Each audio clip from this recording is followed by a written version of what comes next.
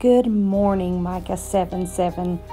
Today is day one of three in our lessons on fasting. Today, we will be covering denying the flesh. I know it's not an easy topic, nor a fun one. Today's lesson is meant to equip you to thrive like Daniel in today's Babylon. Our theme for January is seven steps to move from surviving to thriving.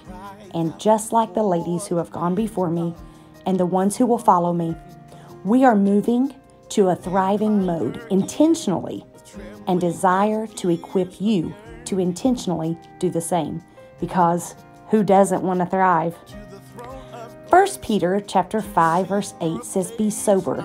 I'm going to say the word for sober means in complete control. Be in complete control and vigilant because the devil, as a lion, seeks whom he may devour. The devil knows one very important fact how you see yourself determines how you will conduct yourself. But God. Psalm 73 26 says, My flesh and my heart faileth, but God is my strength and my portion forever. What a promise. I love cookies. Thank you, Sister Darla, for tempting me. Cookies are my weakness. So I have a choice. Now, when I look at Psalm chapter 121, 1 and 2, it says, I will lift up mine eyes unto the hills from whence cometh my help. My help cometh from the Lord, which made heaven and earth. Now, I know that that may seem a little far fetched from loving cookies and the Lord helping you. But as I told you, cookies are my weakness. So I have a choice. I can indulge or abstain. For me, there's no really in between because once I taste them, I want more. Hebrews chapter 12, verse 1 says, Let us lay aside every weight and the sin which doth so easily beset us and let us run with patience a race that is set before us. Now we know if we indulge on things of the world, like cookies, it would be hard to run a race, especially run a race with patience. So we have to make a decision today indulge or abstain. Let's talk about the word indulge. It's an unrestrained action, and we're going to say according to eating for this lesson today unrestrained eating. Is it possible that we rely on food more than we rely on God? Joel chapter 2, verse 12 says, To turn to God with all of your heart and with fasting and weeping and mourning.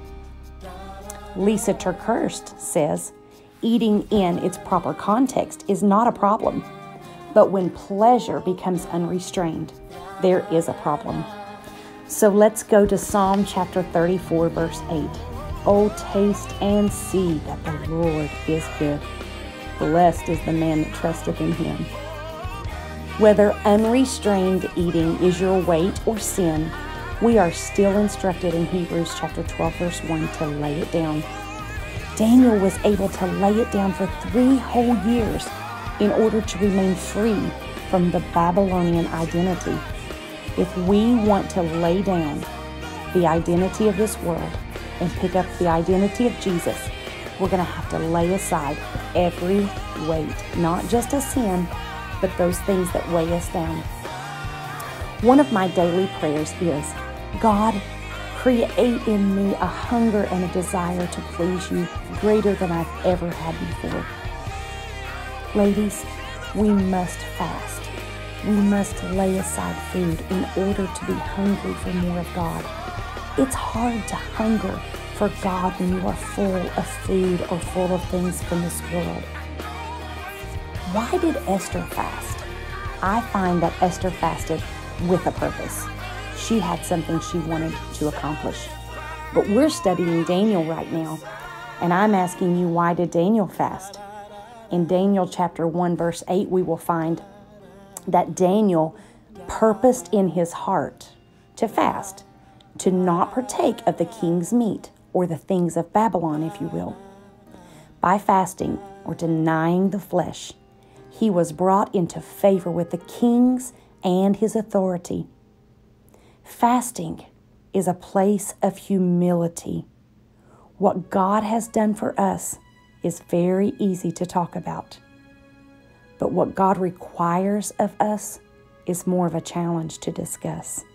That's why today's topic is a little bit challenging for me. Because when God requires something of you, you are held accountable to that, especially when you speak about it. In the book Living Among Lions, the Benham brothers made a few very valuable statements. Daniel was able to deny his flesh of the king's food and deflect the king's praise, which was humility, because he was in a genuine relationship with God. That's what I want. In all likelihood, Daniel was taking a stand against the quote unquote total program of assimilation, as others have done before us and since. In Daniel chapter 1, verse 12, it tells us that Daniel trusted God. He and the three Hebrew boys were given permission to prove that their God by denying their flesh. Remember, they were called to separation, not isolation, as Sister Darla so wonderfully put. Also in Daniel chapter 1 verse 17, because of Daniel's trust and sacrifice, God gave him knowledge and skill in all learning and wisdom and understanding in all visions and dreams. Do you want to obtain those things? I know I do. Then we must abstain from the things that keep us distracted. The purpose for this 21 day fast is to deny the flesh and to be in favor with the Almighty, to see through His eyes what He desires for me to do and who He desires for me to be. It's to unify as the body of Christ. One mind and one accord is what He's asking us to be. It's ushering in the Holy Ghost, and I believe that unity can do just that. If today you are wondering if you can make it for the next 12 days in this fast, you can. Proverbs 23 7 says, As a man thinks in his heart, so is he. Isaiah chapter 41, verse 13 says, For I, the Lord thy God, will hold thy right hand, saying to thee, Fear not, I will help thee. Proverbs chapter 12, I'm sorry, Proverbs chapter 18, verse 21 says, Death and life are in the power of the tongue. So, ladies, let's get up. Let's wash our face and speak life. You can do it. I can do it. Together, we can do it. Let's pray. Almighty God, we seek you today because we are stepping into a place that is outside what our flesh can do alone. We need you today. We need you to strengthen us to be greater than we've ever been before, not for the praise of men, but for your glory. God, as we deny our flesh, help us to take up our cross and follow you. You were able to fast. Therefore, we are able to fast if we will but focus on what you want us to do and not what our flesh wants us to do. I desire, Lord Jesus, for your strength and for your power and for your glory to rest upon us. That we will be victorious in this last day as we are living among lions. In today's Babylon, our country is at a place that we need you so desperately. So hear our cry, answer our prayer, and know that we want to draw closer to you. We want your help. We need your guidance, Lord Jesus, and there is nothing that we can do without you. So we trust you that you will hold our hand and that you will help us not to fear and that you will be our help. I love you, Lord Jesus, and I thank you for it today. Thank you for your word. Thank you for the power of the Holy Ghost that sustains us. Give us a hunger for more of you, less of the world, and more of you and we praise you for it. In Jesus' name we pray. Amen. I hope you all have a wonderful day, and I am looking forward to hearing from Sister Diana Grizzle tomorrow on cutting away the flesh.